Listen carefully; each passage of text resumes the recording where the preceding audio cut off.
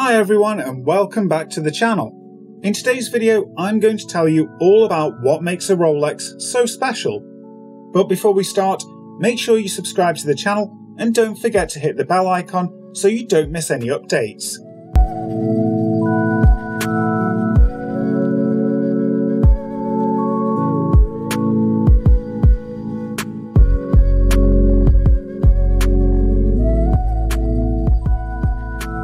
If you were to ask what the finest brand of wristwatch in the world was, the answer will usually be Rolex.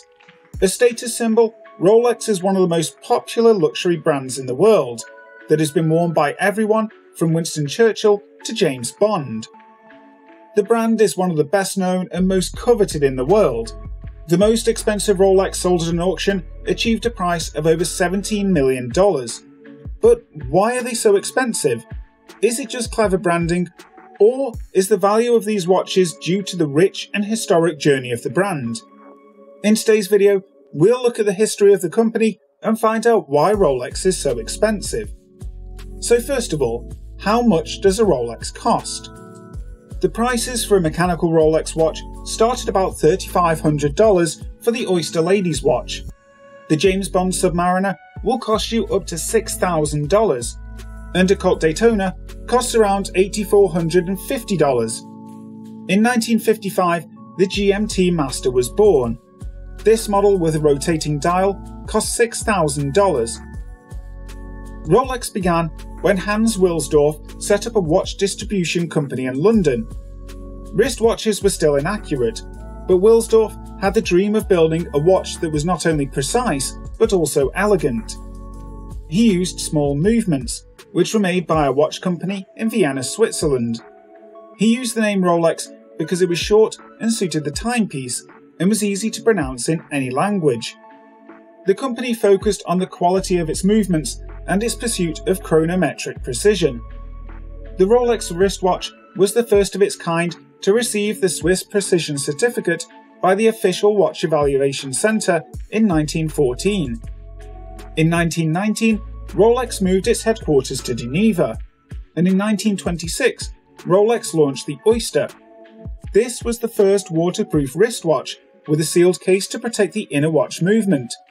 In the following year, an English swimmer named Mercedes Gleitze wore the Oyster watch while swimming through the channel. The watch survived the 10 hour journey and remained in good working order. This is an example of the excellent early branding and marketing strategies of the company. In 1933, a team of explorers flew over Everest, all wearing Rolex watches. In September of 1935, Sir Malcolm Campbell set a speed record of over 300 miles per hour. And what was he wearing on his wrist? That's right, a Rolex. Sir Edmund Hillary climbed Everest wearing a Rolex. At that time, Rolex was already established as the wristwatch for high achievers. Winners, record breakers, and adventurers all wore them.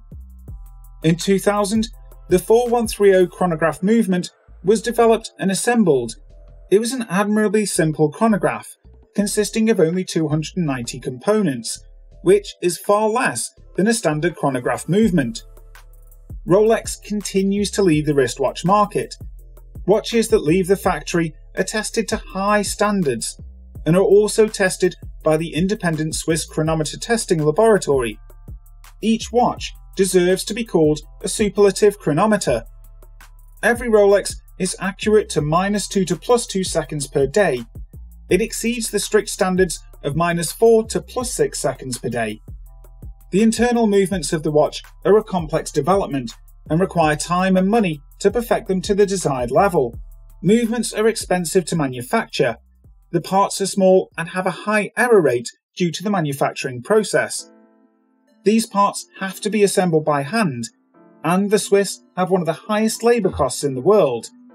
The materials are also expensive. To make a Rolex, they use 904L steel instead of the standard luxury market of 316L steel, and this increases the manufacturing costs. Rolex has had to replace most of its production machines and tools, the switch to 904L steel and the quality of workmanship is usually higher than, say, Omega or Tag Heuer. So, Rolex is not in a position to price watches at the level of other brands. Rolex makes between 800,000 and 1 million watches a year and does everything itself, including melting the gold in the steel. You could say that Rolex watches are inexpensive because their selling price is close to their resale value. If you were to buy a new Rolex watch and wear it for a year and then sell it to a new buyer, you wouldn't lose much money on that transaction. Some popular models, after a period of 10 to 20 years, can actually increase in value from their selling price.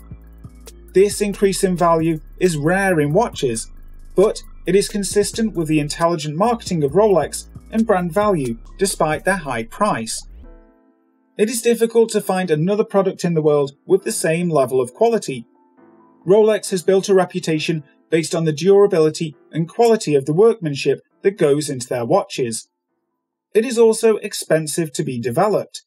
The movements have to be developed for each new watch or timepiece. Rolex spends a great deal of time developing products. Rolex watches are much more than a practical timepiece, also. With their fusion of engineering and watchmaking and their rich heritage, it all adds to the value of the brand.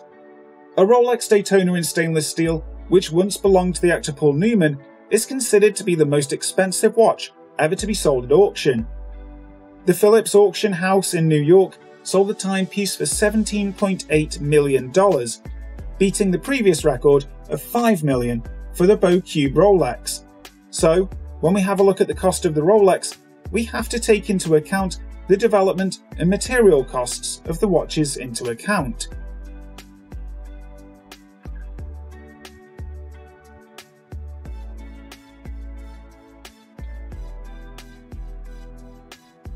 Their brand value has been built up over the years through the performance of Rolex customers. So, do you think that a Rolex wristwatch is worth the price on the box?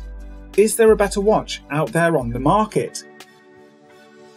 And that's it for today's video. Thank you for watching it. I hope you enjoyed it. If you did, make sure to give it a thumbs up and share it with your friends. Don't forget to share your thoughts and valuable feedback with us in the comments below. You can also suggest topics that we should cover in our upcoming videos. And last but not least, if you haven't subscribed to the channel yet, subscribe. And if you want to see more videos like this, hit the bell button to be notified every time I upload an interesting video to the channel. So, I'll see you in the next video. Bye bye!